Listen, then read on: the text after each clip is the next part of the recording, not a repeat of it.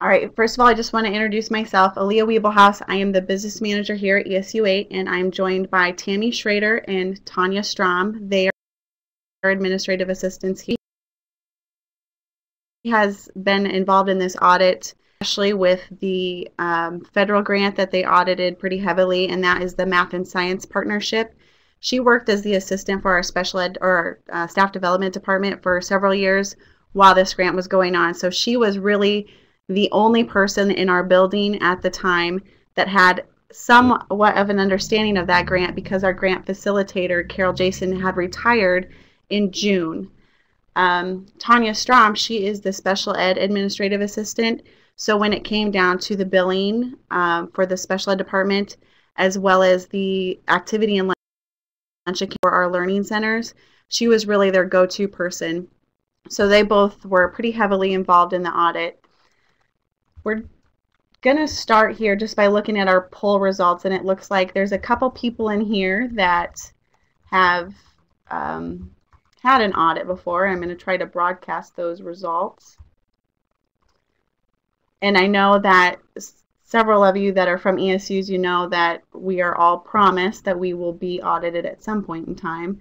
And we were just lucky enough to get selected on a year where our administrator retired and several other key people um, in the unit. So it was an interesting audit, to say the least. All right, we're going to go ahead and start. This is really going to be a Q&A kind of format. Um, this is the only really slide that we're going to go over before we open it up for question and answers.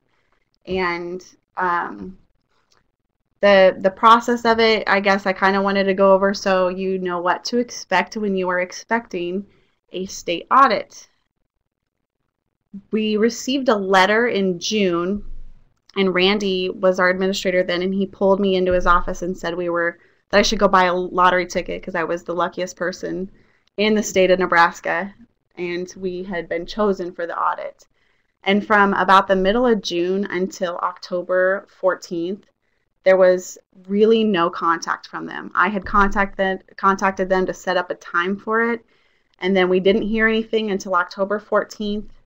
And then they sent out some requests of things that they wanted me to email to them that week. And we went ahead and did that. And by the 21st, we had four of their auditors in our building. The four auditors came and they spent four 10 hour days here and they left on Fridays, which I don't know if you gals will agree. Yes, it was a nice welcome break from them. Um, and they they came in on that Monday, and basically the first thing they did is they sat down with myself and Bill Mowinkle, our new administrator, and Jill Bates, our assistant administrator, and we went through an entrance interview. And it was really kind of a quick, just um, review of what we could expect from them and what they would be doing in this process. After we met with them, we then broke into like what I would call an individual interview session and each of the auditors kind of had their own specialty. You know, one would focus on accounts receivable and accounts payable and our processes and our procedures on those, and one was more payroll based, and one was federal funds based. And what happened is I would meet I met with the first one and then I just worked my way around the table all day for about 6 hours explaining our procedures. They really truly wanted to know how we did things so that they could just understand and wrap their head around the concept of why we are doing what we're doing. That took up the entire first day, and then for the rest of the two weeks that they were here, it was just constant um, documentation that needed to be provided and answer these questions and please come sit down with us for a bit or they would come in and visit you in your office and ask for more questions um, they would give you a list of employees and you'd have to pull the documentation that they were requesting. Um, and it was really time intensive, I would say. And I'm not going to lie, it was a very overwhelming experience just because, as you guys all know, to give up two weeks of your time and to de- devote it to something that's not your regular job duties um, and know that that stuff is just piling up behind it, it is overwhelming. So that's something to just mentally be prepared with when you're going into um, a, an audit from the state auditor's office. Um, when we got it all, when we were all said and done, uh, the exit interview came up, and when we sat through that, that was, I think, probably the most enlightening part of the process. It was nice to really see what everything that you were providing to them, what they were doing with it, and what they were taking out of it. And they did go over at that time things that they thought would probably be a finding on your report, but nothing was set in stone. And at that point, they also gave us the chance to respond to things that they found. So we could disagree or we could agree to disagree or we could say, you know, we don't feel this is right, and we could have had them look further into uh, laws, statutes, whatever. And and we did. I mean, we we listened very carefully. Um, we started to take away things that maybe we could change in our procedures and processes. And um, Bill raised a good question with them where they questioned a way we were doing something, and he cleared it up to them that the segregation of duties was there in this one particular case. Um, they left, they came in on the 21st and they left our building on, I think it was the 31st of October. And then it was at least the next week of heavy emails. I know I received, I mean, pretty much that whole next yeah. week was still dedicated to them through email. You two I gals. received math grant yep. email stuff to pull out for them. So Tami, yep, she was them. still getting stuff. Tonya, were you? I only got like three or four follow up emails. Okay. A lot. So, um, it was still pretty time intensive up to that point. So don't feel like you're going to have two weeks of an audit and it's done because that following week, like I said, I was still pretty much dedicated about 95% to them and just sending them follow up spread, uh, spreadsheets, paperwork, whatever it may be. And then I think I just answered my last email question to them on December 6th. And we just got our draft of our final report today via email. So we don't even have our final report back yet. We have our draft so that we can look over and we have 10 days to respond to what they are saying or findings. Um, and then they'll go ahead and make it finalized and get it published for us. So um, before we open it up to questions, I just want to say like that I really took it as um, a learning tool, and I think that was the best way to look at it. That first day when we found out we were getting audited, I don't know that I slept well, but um, you know, the next day we came back and I talked with Randy, and we knew that this was really going to be a tool for us to base some of the changes that we have been working towards, anyways. And we'd had maybe staff resistance um, on some things, and it really is the backbone to what we can use now to support our cause on some of these things. Um, Tami, you have. I, I do want to say something. I, I want to I want to let you guys know that these auditors were very pleasant to work with. They were. They were um, very easygoing. Um, very accommodating. Yes, it took a lot of our time, but um, they they made it easy with their personalities. They were they were very nice people to work with. They were, and we you know we went in and we asked the questions when we would go in and chat with them about maybe you know they would question something. We opened the door up and we would start to ask more questions about okay well how could we change this or what do you guys think that we should do and they were really good about giving us feedback. Yes, they were. And we've implemented several changes already, and you know, their suggestions for change were not bad by any means. I mean, do you guys agree? Like, I feel like they were very fair. I don't think that they were anything out of the ordinary or difficult for mm-hmm. us to mm-hmm. change. And some of them were things that we expected. Yes. I mean, there were there were things that we kind of figured would come up. Um, I guess at this point we'll go into we'll go into the the findings, a few of the things that really kind of popped out that we thought would be important to share with you guys. Um, the first thing that we noticed, and actually they told me in our interview, or in the interview that I did that first day with them, when I basically sat in there for six hours and answered each of their questions, was they noticed right off the bat a lack of segregation of duties when it comes to our receipts, our payroll. Um, I think those were the two major ones that they they noted, and the reason being was that I I basically handled everything from start to finish on those things. Um, and yes, I agree with them. That does put us at more risk, but they also understood we are not a large employer. You know, we have a staff of 111. Um, we don't have the luxury of having three or four people complete a job duty. So we have taken some steps um, on the lack of segregation of duties for our receipts, and they were suggestions from them. Um, Tami, do you want to walk them through that, like what we have done now to change that procedure or that process, I guess?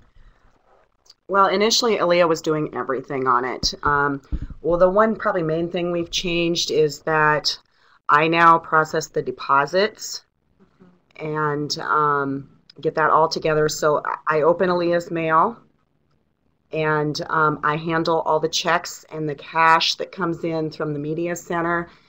I create the deposit um, and then I bring it into Elleah and she signs off, approves it, um, logs it into fund accounting. Right. And code, you know, we, we do all the coding and and then I take it to the bank. So we've got we've got more than one person um, checking the deposits. Right. Their big thing was that having having myself open the mail and be the hands on the cash and also put together the deposit slip and put it into the software. Um, understandably so, and easy workaround for us. I mean, Yes. it's really been smooth. It's a you know way for us to double check each other, and that's been a really easy adjustment. So that's something we'll note that we've made um, made changes to our procedure on that. Um, the other thing they had requested on the deposits was that we make daily deposits. Yeah, they do, and we Um, were. We yeah, and now we just we just make sure that we do them every day, even if we just have a, a small one check. We just still do it. We just it Yep. doesn't take it doesn't take us that long. Yep, and that's something we've we've done. They that was not a finding for them, but it was just something that they reiterate to. wanted I to make think, sure we kept doing. yep, to everybody that everything stays daily. Um, the other part, I guess, for segregation of duties was on payroll. Again, um, you know, start to finish, this process is pretty much me doing it. And there's really not a lot that we can do to change um, how we're doing it. Or, you know, they didn't really say that we needed to, to split this up too much. But what we need to do is when we're done processing that payroll and we have that payroll register, it needs to go through multiple channels then. And a, a big piece of that is having our administrator thoroughly look through that payroll register. And Bill has done a great job of that for us. Um, he said it's a great way for him to get to know everybody's name as Yes. well. So he's done a great job of going through that payroll register. And in particular, since Tami and I have access to um, creating the basically the um, employee profiles and creating the payroll deductions for employees, um, he is going through and he is signing off on my payroll and her payroll in that journal or in that register in particular, as well as the whole thing. And they just stress that you're making sure that your administrator, or if you are an administrator, that you are thoroughly checking. You're looking for vendors um, or an employee that maybe is not a familiar name. You're making sure that, sorry, my computer's talking to me. um, you're making sure that the there's nobody that has no deductions. You know, there shouldn't be an employee that has no state and federal deductions. The you know big red flag, and that piece of it um, we've implemented. We're doing, and we are just trying to split things up as much as we possibly can with the availability of staff here. Um, the next piece the was our activity and lunch account controls and I'll have Tonya talk to you a little bit about this. This is uh, our learning center accounts, and they they talk to us um, in good detail about this, and we've really made adjustments already. So I'll let her take over from here. Um, in each of our learning centers, we have an activity and a lunch account. That they're fully responsible for there each month and they keep track of them. Um, and we had some problems on it. We knew going into it we were they were going to find this, and we had tried to take care of it in the front end, so it wasn't a big finding to us or anything that we felt like we hadn't already addressed, and we kind of just let them know that you know we had made changes. Um, there were a few things like checks to employees instead of them doing an expense sheet, they were writing it to an employee. Not a huge deal. There was the receipt there to support it. Nothing, you know, no bad findings, just that we shouldn't do that. It should be on the expense sheet. Um, there was some taxes paid on it when we shouldn't have, or tax exempt employer. And then the biggest piece that they noted on it was the lack of control or the availability for there to be misuse of it because it wasn't being overseen as much as the other accounts. And so we've fixed that by reporting in our board packet because there was no, um, they're not doing purchase orders, so they're not receiving permission up front or anything like that to make these purchases. So there does need to be some approval on the backside saying, yeah, those are all okay purchases. You know, understandable that there's things that come up that we have to pay for on the spot without approval, but that the board does need to, you know, sign off on them to make sure that they're okay. Um, and I think that was the Yeah. biggest findings. I think so. We've pretty much got, I think, that worked through and, and we're headed in the right direction with that one as well. Um, the other big one that I wanted to touch on here, I guess I shouldn't say big one. I don't, I can honestly say that in our audit, we don't feel like there was anything major. Like there were things we expected, there were things we should change, but I don't think there is Omaha World Herald front page news, which is awesome. So we were really pretty happy um, with that with those findings. But the federal grant that they looked at, the Math and Science Partnership, um, that one really, I think, I think the issue here was that our our person that ran the grant was not available, um, and Tami did such a great job of digging through piles and piles and piles of paperwork to find what they were looking for. And I think for the most part, everything was accounted for with the exception of the time and effort log. So I'll let you handle that. Right. Um, we did not have time and effort logs for the math grant, and when you are, sorry, when you are um, paying salaries, clerical or uh, grant director salaries out of a federal grant, you need to be accountable for your time and effort logs. That was something that um, Elleah and I did not know. Um, since we have found that out, we no longer have the math grant. But if we ever do have a federal grant again, we will we will know that the grant director needs to share um, the actual write up on the grant with us, so that there's more than one person that um, knows what the guidelines are. And we also now know that you need to keep time and effort logs. Well, and I, we knew that. I just don't know that we didn't know that it wasn't. it, that it That we didn't wasn't have it. that we didn't have it right Yeah. I, I think everybody had assumed that our grant director had done that Right, and she and she did have some stuff um, on her iCal Yep. yes Mhm. um, but I think they wanted a more detailed Yeah, uh, they didn't want to know that you just worked this day on the grant they wanted to know how many hours and what you did Um, I was a little surprised that they didn't focus more on expense sheets. I know some of the other audits that have been done, they really looked at like the you know the employee expense sheets, and we um, they pulled a few, and um, there was a couple real minor things on those, um, but they didn't really focus on that. They they focused primarily on um, just procedures that might be something I want to bring up though. The multiple travel places. Oh yeah, and and that is something we're looking at too. Is the mileage thing when it does come on an expense sheet, and one of them was a federal grant um, expense sheet. I think that we had trouble mapping out miles um, and having them make sense. And they do give you, I think it was a ten percent leeway on your mileage, and um, if you were within that range, which ten percent is pretty lenient, if you were within that range, then um, you were fine. Um, the problem we have is that there's several routes for you to go to different places here and people go back roads and you know what we looked at maybe possibly doing going forward is having a chart of miles to from this home base to this place is this many miles and that's what you expense and that would help in that case um, They also had problems where they kind of stopped someplace else in the middle mhm. and they didn't list that, which they knew what they meant. They went from Neligh to Norfolk, but they forgot to list that they stopped off in Battle Creek and then came back or someplace like that. And so then we were over the miles, so they just recommended that you put every stop you Mhm. made on that so that they could put that into. MapQuest is what they used when they did it. Right. Yeah, they did. They map quested it.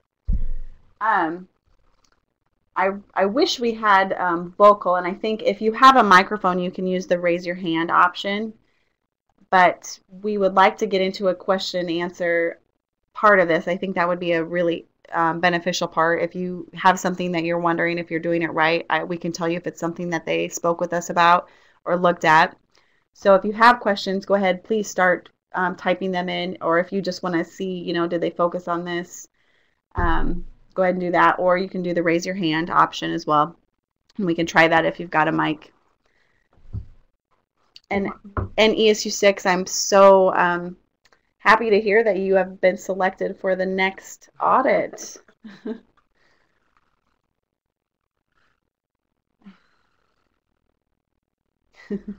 ESU six says thanks. I I'm not sure if that smiley face was supposed to be a wink or but no, it really is um it was a good experience. It was a great tool. I'm actually extremely happy that it happened when it did. It was perfect timing for us. I've been in this position for 2 years and um you know coming in you see things that maybe you want to change but you don't know if you should or you maybe don't have It's hard to get everybody Yeah, on board the with the changes sometimes. And this was a great tool. Um, it was also a great time with our administrator change.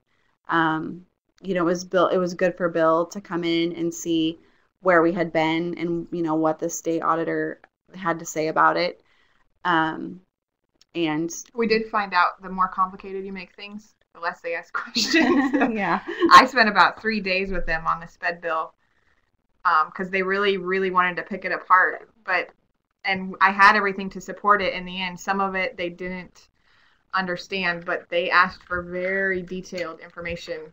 And luckily, we had switched to doing that this year. But Um, ESU six asked if they prepared our financial statements as a part of this. Um, they did, and they prepared it in the exact same format as our past auditor did. I am guessing they asked you to have your auditor do it because we made them do ours. To be honest, um, when he gave me or asked me to start basically filling out some of the financial statements, I just flat out told them our auditor does this for us. And my feeling on that is if we're going to pay you $20,000 to come in and do our audit for us and tell us that we don't need to have our regular audit prepare our financials, that, you know, that price tag is supposed to cover that. So they spent a lot of time, I think, actually preparing our financial statements. And ours were particularly hard because we need to do more journal entries instead of expenditures and receipts in and out of some of our own funds, and they had to sort through all that mess. So um, we made them work for their money. Connie has another question. Connie, was there maybe a minimum amount for the deposit, or if only fifty dollars, should I make a daily deposit? Um, good question, Connie. You know, they didn't really harp on it too much. Um, we do. I mean, we if we have a deposit, we do it if it's possible. If it's running close to time when the bank's going to close, it's not the end of the world if it sits till the next day. Um, you know, I would just you just use your own judgment. On yeah. I, I wouldn't hold stuff for a week, You know. you know, but uh, you It I don't think like you'll you do one at least about every other day. Oh yeah. Um, um, you know, try to every day, but there's some days when I just have, you know, five dollars from laminating from media. Um, I maybe necessarily don't try to really get that down there that day. I may wait till the next day till we have some checks come in. And one thing with the deposits I want to touch on is that they did, um, our media department has a lot of walk in traffic, people that deal with cash. And that is something that they noted that we had, um, I, they had cash up in a drawer, I think. So we had to order a locked cash bo- cash box, and they have to bring back their deposits daily. They can't hold on to that cash, and they're not allowed to have more than twenty dollars in that cash box.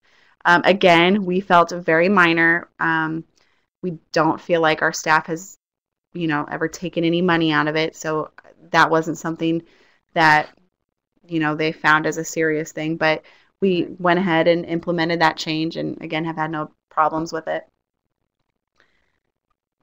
Any more questions before we start wrapping up?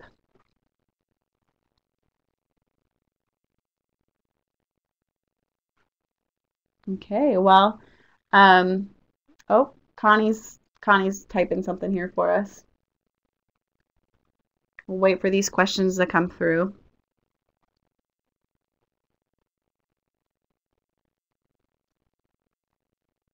I'm glad we've been helpful. Um, I I really want to tell all of you um, if you have questions going into this, and you know I know ESU six, you guys are waiting for that audit to start. Please call us, or even if you're a school, yeah, call us, email us, whatever. If you're a school that just is wondering if this is how you know it's different. It's your regular audit is so different than this state audit there's not even a comparison. You know, we don't have findings on our regular audits. It's a lot more intense. It's a lot more intense and they really they really do tell you, you know, hey, this is a statute you need to be doing or this is a state law or, you know. they, they like paper trails. Everything's got to match Mhm. up, Yep. um, especially on the grant stuff. I noticed. Yes. You know, um, hotel hotel bills with teachers' names on it. They matched them with the participants Mhm. for that day to make sure that they were actually in attendance. Yes, they did. And they looked at, you know, if somebody was gone on a leave, um, they would come in here and they would ask me on our attendance system, show me the leave approval. Yes. You know, they do. They they marry it up through your whole system. So if you give them a procedure and you sit in that in that beginning interview, you tell them this, this is your procedure. You better make sure that you've got the trail to back it. Um, and we were able to do that. You know, it was time intensive, but But we we were able to show them that yes, um, this person was gone this day and they had a mileage expense for it, and we also show that our their supervisor and their administrator approved it through our attendance enterprise system. So um, they really did look at all those little details. Um, and Bill, yes, Bill commented the process was fair and good, and it really was. I can't. I mean, I wouldn't want them to come back next year. I'm not gonna lie. We've got plenty to take from this to work over the next year going forward. Um, but you know what? It was it was a good It was. audit. It really was, and it was a fair experience. And they were very great people to work with. Connie has a question. Um, Connie, what about documentation agendas to document mileage or conference costs? Yes, they wanted those, um, and that's something that we've we've really preached with our staff over the last two years. So we had most of it. Um, you know, they did pull a, an expense sheet that didn't have some agendas, and they they're so easy to work with that they actually went online and started pulling the agendas for us For us. Yeah. so that we had the documentation. So they really were not out to get us. But we did also explain to them that we don't require agendas or meeting notes or whatever if it's within our boundaries. So within our seven counties, we only do it for the outside boundaries travel, and they were perfectly fine with that. So that was something that we did come up. Okay, if there's no more questions, or maybe Connie has one. Nope, she's saying thanks. Okay, no more questions. It is 4:15. Our half hour is up, and remember this is recorded, and we'll make sure that the link is posted on our website. If you're not able to find it, shoot me an email, and I'll make sure that you get it. Or again, please use us as a tool if you would like going forward. We'd be more than happy to help you out in any way possible. Thank you, everybody, and have a great day. Thank you.